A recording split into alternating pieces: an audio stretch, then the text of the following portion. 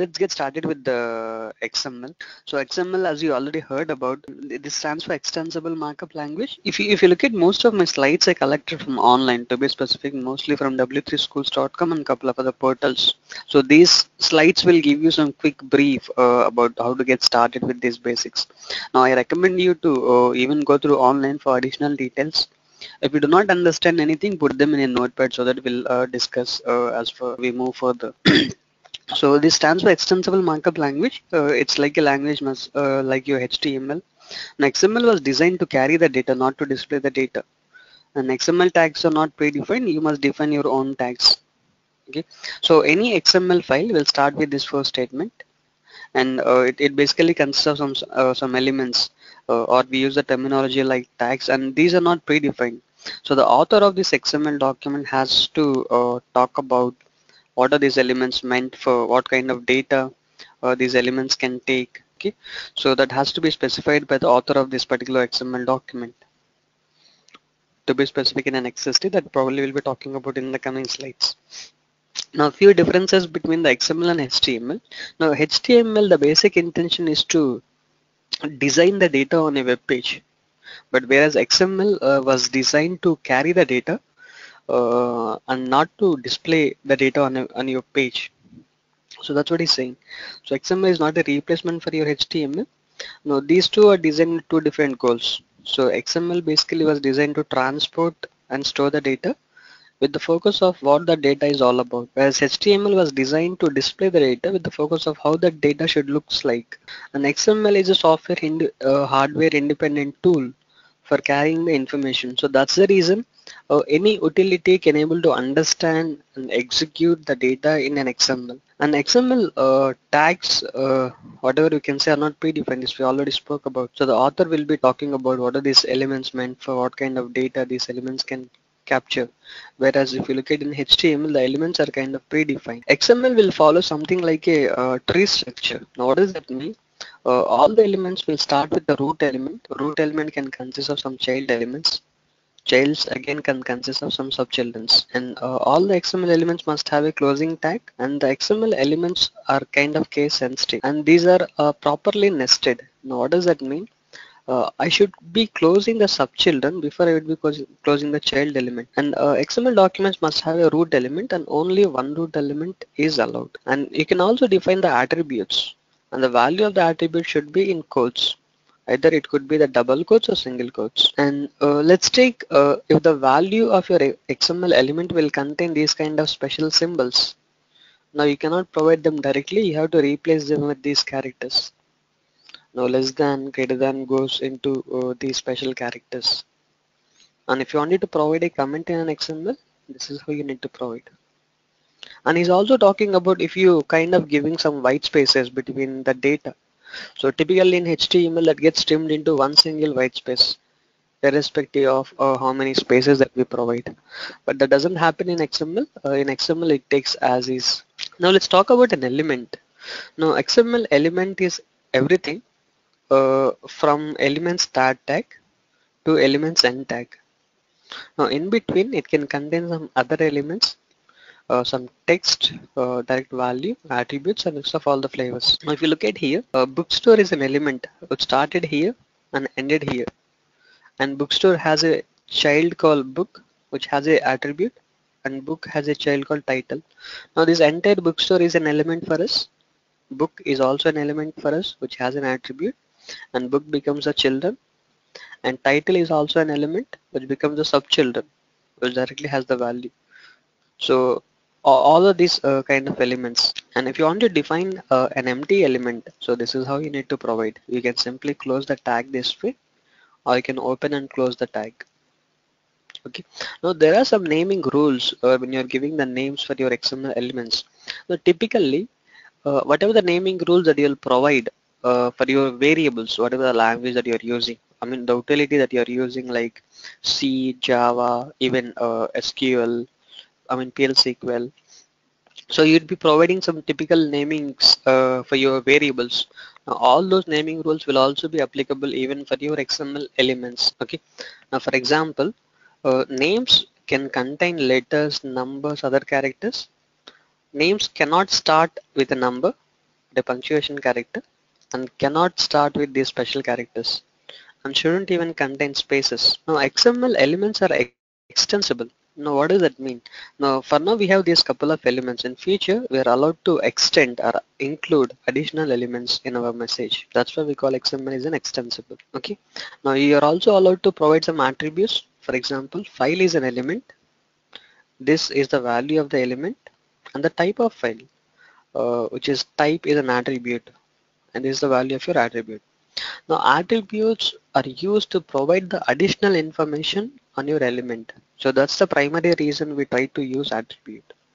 And as we discussed, the value of the attribute uh, should be uh, either in double quotes or single quotes. Now the same thing, what happens if the value itself uh, would like to have a uh, this kind of uh, double quotes or special characters you have to replace with these. Now elements versus attributes. Now in the version 1 uh, he created an element called person uh, with an attribute and the same information he tried replacing in another version 2 where in this case he used as an element. Now so for the uh, uh, comparison so when to when we should use elements and when should we use attributes. Now uh, in simple terms try to avoid using attributes as much as possible.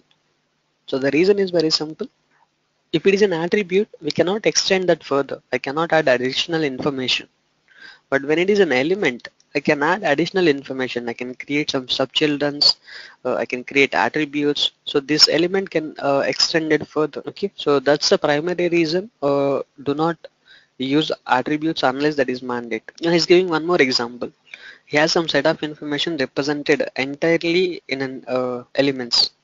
The same thing he also represented into one element and everything else as an attributes.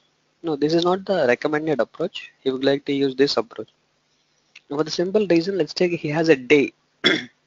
now I wanted to even include what is a day, whether it's a Sunday, Monday, what kind of week it is. You cannot mention that in an uh, attributes because you cannot extend that. But in this uh, pattern, we have a privilege to extend that. And namespace, so this guy is trying to make us understand uh, he has a table information. Uh, one is HTML table this one and another one is some piece of furniture this one. Now if you notice here the element name is same in both the uh, informations like table. Now he would like to consolidate these two into another XML document. Now that's why he's facing something like name conflict. Now table meant for whether it is either the HTML or a piece of furniture. So that's where he's talking about we would like to provide a namespace for an element so that that gets uniquely identified. Now typically if I give you an example, let's take I have a Java package. Uh, for example, com Oracle apps.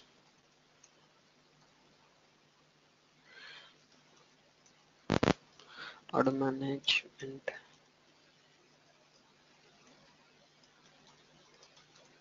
Purchase order service types. I have a class.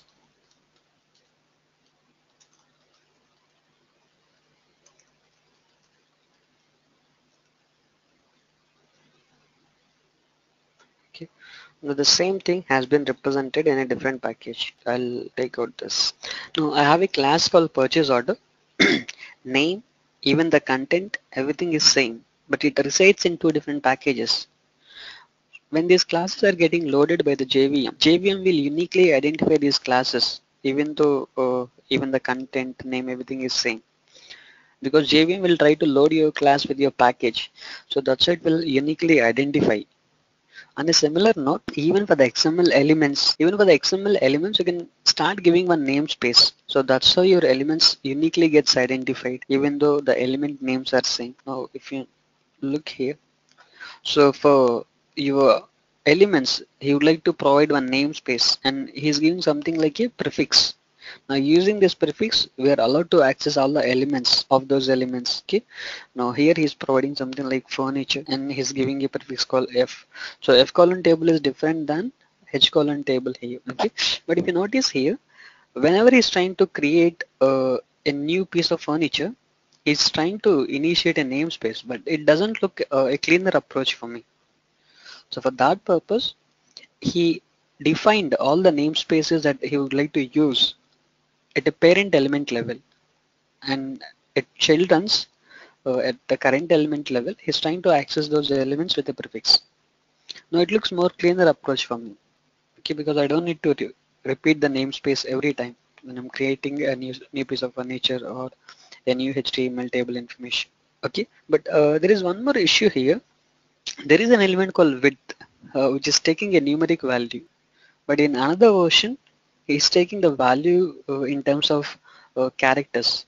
Now how do I ensure this is an element should take only a number not a character?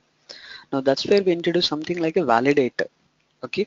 Now there are two validators available. One is DTD document type definition and this is very old way to uh, validate your XML data and another one is XSD uh, which stands for XML schema definition okay? And uh, we would be going to use uh, XSD uh, in our uh, projects uh, for validating your XML data. So XSD is more powerful on DTD due to these following reasons. Now for example XML schemas are written in XML XML schema is nothing but the XSD these are written in XML so you'll get all the features of your XML and these are extensible for the editions so this also supports the data type. So that's where I can mention the element width is uh, an integer. So it will take only a number of values and it also supports the namespaces. Now for example, this is how you can define uh, an XSD, uh, the root element name. So I'll talk about what is a complex type, when should we use and sequences and uh, these elements probably in the coming slides in XSD. And you can define the uh, child elements this way. Element its name and it, its type. So this is a very simple uh, example of uh, creating an XSD